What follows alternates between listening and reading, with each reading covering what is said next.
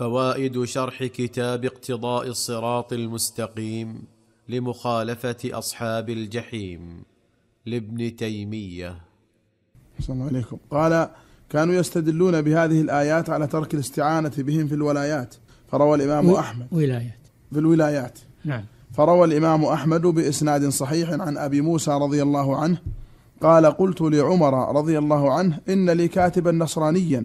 قال ما لك قاتلك الله. أما سمعت الله يقول يا أيها الذين آمنوا لا تتخذوا اليهود والنصارى أولياء بعضهم أولياء بعض. ألا اتخذت حنيفا؟ قال قلت يا أمير المؤمنين لي كتابته وله دينه. قال لا أكرمهم إذ أهانهم الله ولا أعزهم إذ أذلهم الله ولا أدنيهم إذ أقصاهم الله. قلنا إن التعامل معهم فيما أباح الله لا بأس به وليس هذا من الموالاة.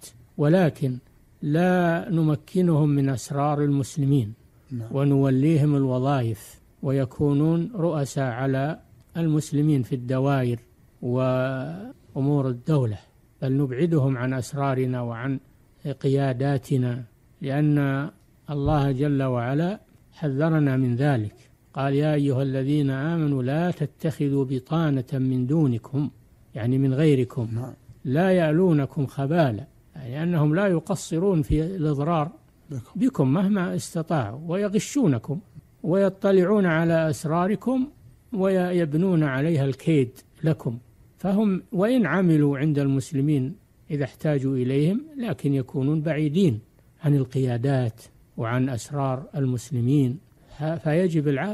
يجب الفهم لهذه لهذه المسألة وهذا هو الذي أنكره عمر رضي الله عنه على هذا الصحابي الجليل الذي اتخذ كاتبا. نصرانيا.